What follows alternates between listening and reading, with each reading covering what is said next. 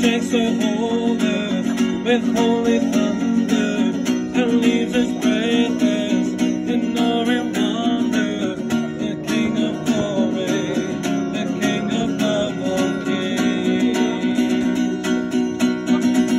This is amazing grace.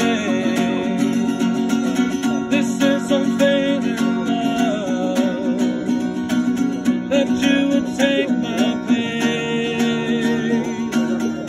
To bear my cross.